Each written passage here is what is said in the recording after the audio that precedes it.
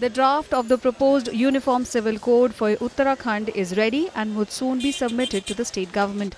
The chairman of the committee, Justice retired Ranjana Prakash Desai, said the opinion of all sections has been taken into consideration while preparing the draft.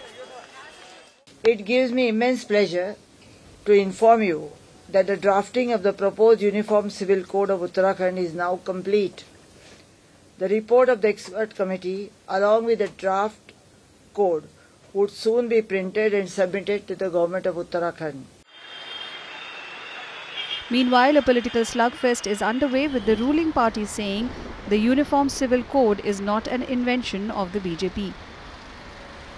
Why you are opposing without there is any law or anything has happened? And particularly I want to ask, this is not BJP innovation, this is Article 44 of the Constitution written by Dr. Baba Sahib Ambedkar. One question I want to ask to IUML, CPM, CPI. CPM and CPI were in favor of Common Civil Code earlier, as I recollect. But now they are opposing. जो directive principles of state policy हैं वो aspirational है वो mandatory नहीं है अगर भारत के संविधान निर्माता उसको मैंडेटरी बनाना चाहते तो उसको फिर फंडामेंटल राइट्स की जो आपके बुनियादी मूलभूत अधिकार हैं, उनकी सूची में शामिल करते। तो ये जो यूनिफॉर्म सिविल कोड की बहस छेड़ी गई है, इस जिसे अंग्रेज़ी में कहते हैं it's a dog whistle it is only to other the otherness of the other it is only to serve the agenda of polarisation इसका और कोई औचित्य नहीं है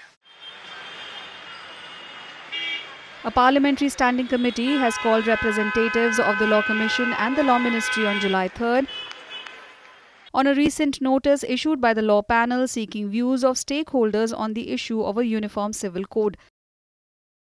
तीन जुलाई की जो बैठक है उसके अंदर जो लॉ कमीशन है और जो लेजिस्लेटिव डिपार्टमेंट है लीगल अफेयर्स डिपार्टमेंट है उनको आमंत्रित किया गया है ताकि जो कॉमन सिविल कोड पर जो एलेवेंथ लॉ कमीशन की जो रिपोर्ट थी जो कंसल्टेशन पेपर था उसमें क्या है उसके क्या हाइलाइट्स हैं उसके उसके बारे में ब्रीफ करने के लिए उन लोगों को बुलाया है और सारे एम रहेंगे फिर उनके जो सवाल जवाब होंगे उनका वो लोग जवाब देंगे By Tuesday evening, the Law Commission had received about 8.5 lakh responses to its public notice.